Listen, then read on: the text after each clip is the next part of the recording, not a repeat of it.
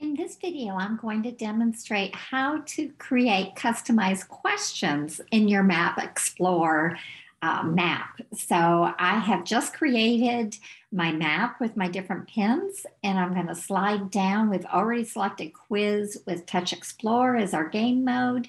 We've selected what type of questions should be asked or custom questions. Are we going to shuffle the questions? Yes, I want them in a random order. I'm going to go ahead and select um, five questions per round. So I might put in 20 questions on this map and it will randomly choose five questions and then um, the student will answer those five questions and it'll be scored and then they can play the game again and they'll get another random five questions which will probably be different questions i could go ahead and do 10 here if that's what i wanted if i wanted my student to answer 10 questions I'm using this map as a way to teach um, basic skills here. So I'm just going to do a few at a time right now. So I'm going to add my first question and I'm going to show the different types of questions that we might include. Um, so the first one is just find a place. So I'm going to say, let's find, find um, Kevin's house. All right. And then I'm going to select on the right hand side of that. There's the little down arrow. I'm going to select that. And it's going to ask me, do I, is it a pin, an intersection, a street, or a region. So with this one, find Kevin's house. That's um, the house on here that I marked. That's a label, so that's a pin. So I'm going to select that. And then when I do, the different pins come up. So here is Kevin's house. There's also Pittsboro Elementary School, Chatham County Sheriff's Office, Blossom Flower Shop, the baseball field, and the tennis courts are the pins that I've added. So that's my list. I'm going to select Kevin's house. Now I'm going to add my second type of question. So that was the pin type question. The second type of question I'm going to do is I'm going to find a street. So I'm going to say find Johnston Street. Now, notice this is my question, and I'm going to spell it all out, no abbreviations in my question part. And the reason I do that, I spell it all out, is because the screen reader doesn't always read the abbreviations correctly. So I want the screen reader to say the correct, um, announce it correctly, but when I come over here and select my answer, the answer has to be exactly the same as what was in my map. So sometimes I'll come back and I'll scroll back and look and see it. Was there an abbreviation in there on that street name or did I spell it correctly? If I don't have it exact, it will not work. So I notice that most of my streets have ST for street and there's no period after the ST. So I'm going to come down here and I'm going to write, uh, I'm going to select street as my option. Again, pin, intersection, street, and region. Those are my four choices. I'm going to do street. And now I have to type in the street and I have to type it in exactly. So it's Johnston space capital ST. All right.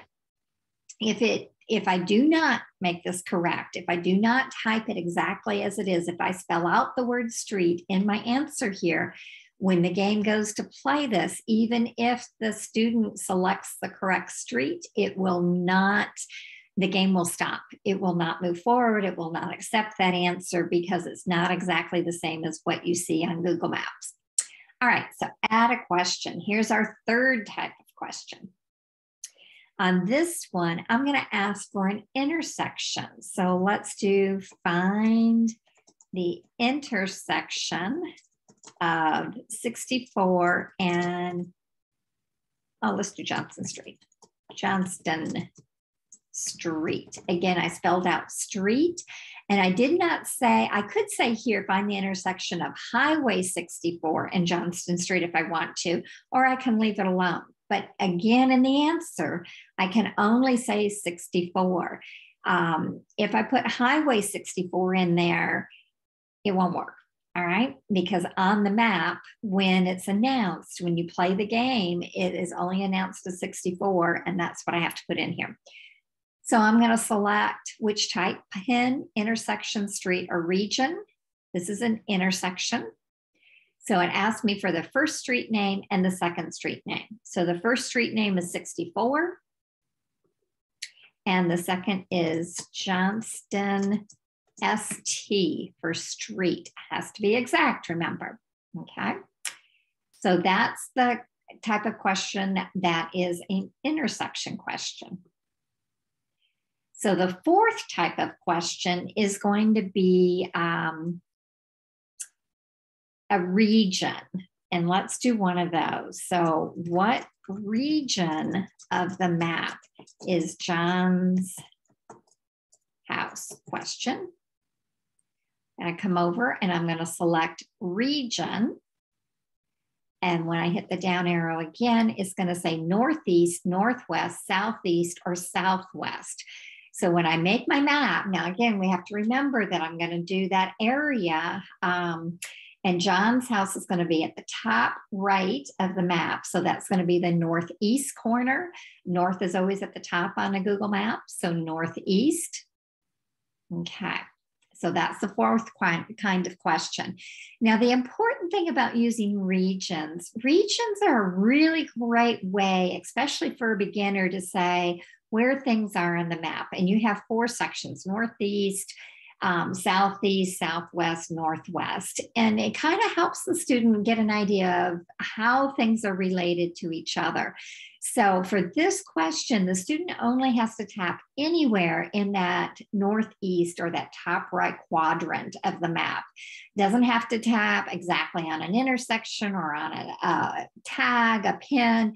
It's anywhere in that area. So, what I'm trying to develop with that is we, we want our kids to kind of have an idea okay, here's my map, here's my parameter of my map. You have to kind of know those boundaries, and then where it is on the map northeast, southwest, that kind of thing. So, on this map, in the northeast is Kevin's house, in the southwest would be um, like the uh, baseball field.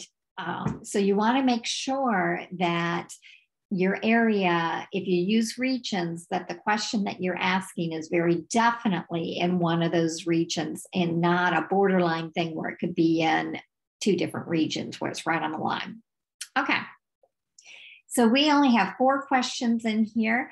I want to go back to my questions per round. I typically do five questions or 10 questions because it's easy to score. And, but I only have four questions in here. So I'm going to go back um, to questions per round and change that to four. When I did that, my next button is no longer dimmed. So let me take it back up to five.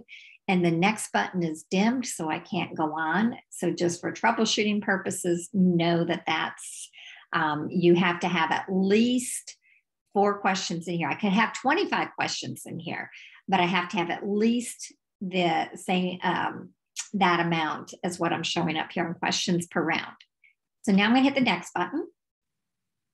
So enter a name, description, and area for your skills.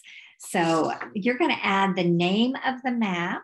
Um, this one, I'm just going to say it's Kevin's how, uh, let's do um, neighborhood and school. Now I'm going to say that this is a test version because I already have the one um, completed. So I don't want to write, I don't want to confuse the two. So what I do is I put version one, I'll put um, Kevin's neighborhood in school one, Kevin's neighborhood in school two, because when I go try it on the iPad, I might find, oh, I can't find that one pin very easily. Or maybe I put the pin on top of the street and that's confusing. Or maybe my streets are a little bit different. Um, they're not aligned to where I want it to be. So I um, put the version number in here because when I save this, it says save as. So if I edit this map, it's going to save it as a new map. And I want to always know which version I'm working on. And I find the first couple of maps that I make, I I will make um, edit it once, twice, three times before I get it just the way I want it. Um, so it is important to make sure that you have a name in here that you know which version you're working with. All right, so the description, um, maybe it is um, whatever you want to put in here. You can kind of play with the descriptions a little bit, but the description of this is the map of, usually it's whatever skill it is that you're trying to teach. Um, so the description is map of Kevin's um, I'm going to say basic map because this one only has a few things on here. I could add a lot more. Basic map of Kevin's neighborhood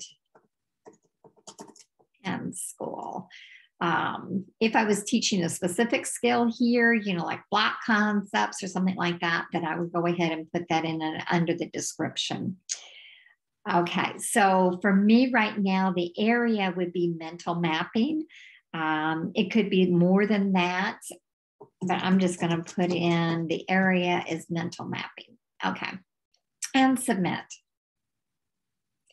All right, great. We added Kevin's neighborhood school and test um, to your skills. This skill is for a specific student. I'm going to say yes which student, since I asked for a specific student, I'm going to go ahead and say Diane student. And then which goal do you want to put this skill under? So I can, I'm going to say, okay, here, and it's showing me the different goals that I have here. Um, or I can put it in a, under as a new goal. So I'm going to say, okay. And now I'm going to select Kevin's mental mapping. So I have John's mental mapping. I have Kevin's. I have different ones. So I'm going to go ahead and select Kevin's. And then it comes up and said, we added the skill. Let's set a target percentage to master. So I can say, let's put it up at 100%. Five, uh, four questions here, he should be able to nail it, or maybe I want 50%. So I can select this as I want. Do I want to activate this skill? Um, which means I'm going to send it to the student. I'm going to confirm yes. We're all done. From this page, you can reorder, edit, or activate skills. If you like to add more skills, just click blah, blah, blah. Okay, so I'm going to hit OK. And now this skill will be under Kevin's um, skills for Kevin's mental maps. And you can see I have already created one or two maps with the same name. I have activated the maps here. So the one that we just created is Kevin's neighborhood and skill test. And if I wanted to keep that active and send it to Kevin's iPad, I would um, have it activated here where it's to the right and it's red. Since this isn't a full map with a full question, I'm going to deactivate it by selecting that. You notice the last map that I sent over there is still there and it's activated. Um, and I had a couple of versions here. So I can come back here and delete the first version or two, and that would keep just the one version that is, is truly good. So if I wanted to get rid of this test map, which remember is not a full map, I would come over to the trash can and delete it here. Okay.